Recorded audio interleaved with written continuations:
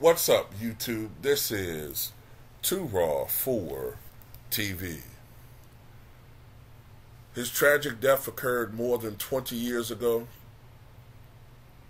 He was murdered at his recording studio back in, I believe it was 2002.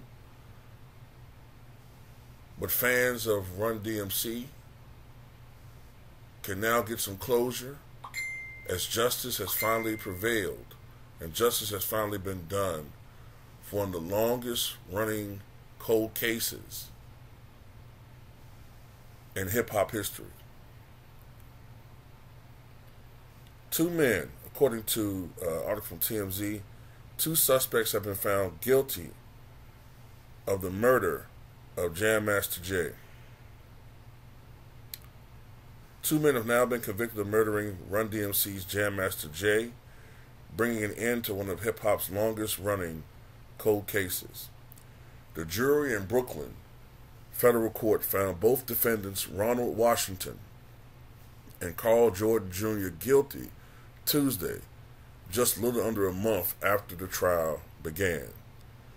Jay was gunned down more than 21 years ago on the evening of October 30th, 2002, where prosecutors argued Washington and Jordan both ambushed him at his studio over a failed drug deal, with Jordan executing him at close range with multiple shots to the head.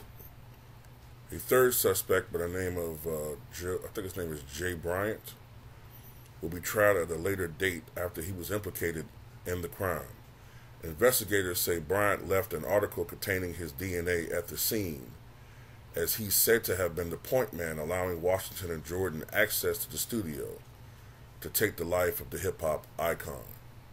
Before the trial started, Attorney General, Attorney General Merrick Garland took the death penalty off the table, but both men are staring at a minimum of 20 years in prison each.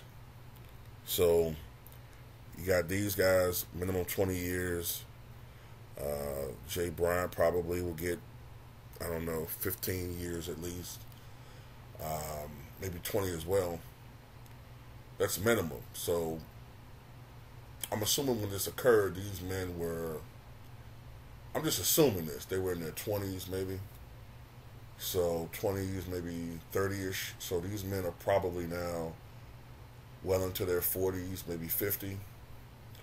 So if they were to get out of prison, minimum, they would probably be in their well into their 60s, maybe early 70s. Um, you know, I don't think that's enough to be to, to be quite honest. I, I've got a feeling like if this was say Garth Brooks,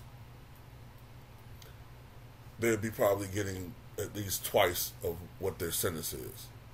Uh, they took out one of the great icons in hip hop history. I'm not saying that Jam Master Jay was a saint because he was apparently involved in some things that you know uh, have some serious consequences. I, I understand that, but this was a premeditated crime, um, and uh, when you look at the details of this situation, um, it was especially heinous.